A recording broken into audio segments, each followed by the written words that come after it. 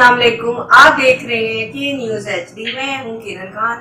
चलते हैं आज की ताज़ा खबरों की तरफ़। खबरों का सिलसिला आगे बढ़ाते हुए रुक करेंगे साहिवाल का। साहिवाल से हमारी नुमाइंदा जुनैरा की रिपोर्ट के मुताबिक साहिवाल में चोरी डकैतियों का सिलसिला ना थम सका। तफसीलात के मुताबिक थाना फतेहशेर के इलाके में एक ही दिन में मुसलसल दो वारदातें, पहली वारदात में डाकू मुस्लिम बिन अकील कॉलोनी गली नंबर नौ में रुस्तम करियाना स्टोर से डाकू नकदी और मोबाइल फ़ोन लेकर फरार। दूसरी वारदात, मुस्लिम बिन अकील कॉलोनी गली नंबर पाँच में डाकू मीटर चेकर बनकर घर आए और मोबाइल फ़ोन और नकली कैश लेकर फरार। अवाम ने डीपीओ साहिवाल, फैसल शहजाद से चोरियों की रोकथाम के लिए सख्त इंतज़ाम का मुतालबा किया है।